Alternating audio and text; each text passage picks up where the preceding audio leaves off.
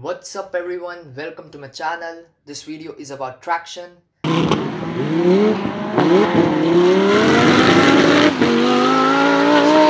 You will learn what is traction, what is the direction of traction, what is the maximum traction value. So without spending much time, let's start now.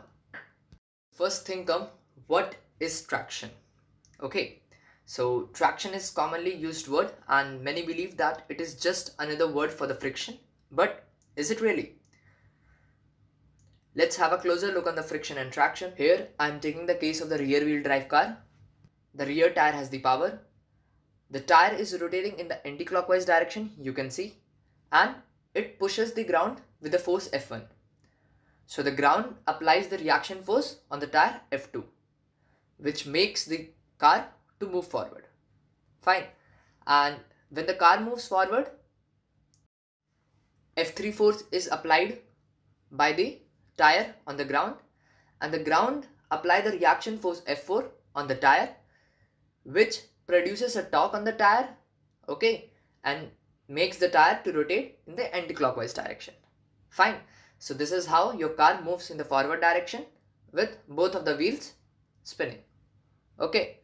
So what do you learn from this? Just pause the video and think. Time's up. Let me tell you.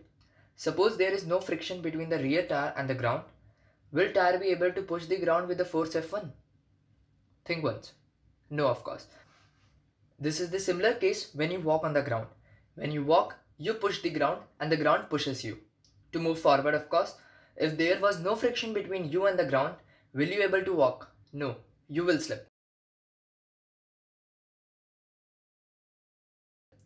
So similarly, if there is no friction between the tire and the road, the tire will spin on its own axis. So that's why friction is crucial here. Hence, there is friction, you push the ground and the ground will push you. Here, tire pushes the ground with the force F1 and it gets the force in the forward direction which is F2. So what is F2? F2 is the tractive force which helps the vehicle to move forward and it is equals to F1 because they are the reaction forces and are equal and opposite. Fine. Now let's see the front tire. Suppose there is no friction between the front tire and the ground. Now the tire will skid or spin. Think once. Right. They will skid and will move in the forward direction. Is it desirable? No, of course. Because if they are skidding, there will be no grip and you will not be able to steer your vehicle. Okay. So that's why there is friction the tire pushes the ground by the force F3 and gets the reaction force F4.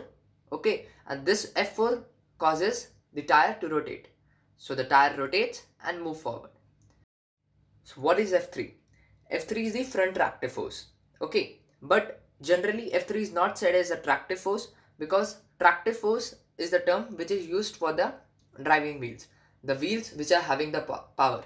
So if the car is rear wheel drive, then the rear wheels are having the power and if the car is front wheel drive the front wheels are having the power. Fine.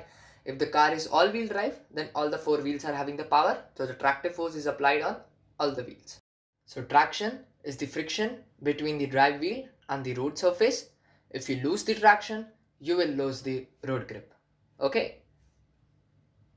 Now next what's the value of the maximum traction so FF maximum will be equals to mu into WF and I'm considering this equation as 1 and the second equation FR maximum is equals to mu into WR.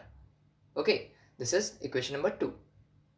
So where FF is the traction on the front tire, FR is the traction on the rear tire, mu is the friction coefficient between the tire and road, WF is the weight transfer on front tire and WR is the weight transfer on rear tire. Okay, so we know the value of WF is this and similarly WR is this. These are from the previous video. Okay, you can check them out.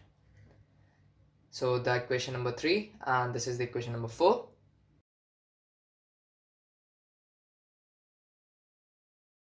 So using the equation 1, 2, 3 and 4, we finally get FF max equals to this, FR max equals to this. You can iterate them and you can also get the same values. Fine. Traction depends on the weight transfer, load, position of center of gravity of the vehicle. As you can see, depends upon the L1, L2 and L. So center of gravity position. Note that the traction also increases due to the aerodynamic downforce. As aerodynamic downforce increases, the weight transfer will increase, okay, and traction will also increase. Fine. So this much for this video. Thanks for watching. If you like the video, go and hit the like button. Don't forget to share the video with your friends and colleagues. Let everyone know about the traction. And the last, the most important thing, okay, do subscribe to my channel, hit the bell icon to get the latest updates. And also, if you want to check the blogs on vehicle dynamics, automobile, and softwares, you can check on my website. The link is in the description box. Fine. And if you have any queries regarding this video, you can hit the comment box. Okay. So till then, keep learning, keep exploring.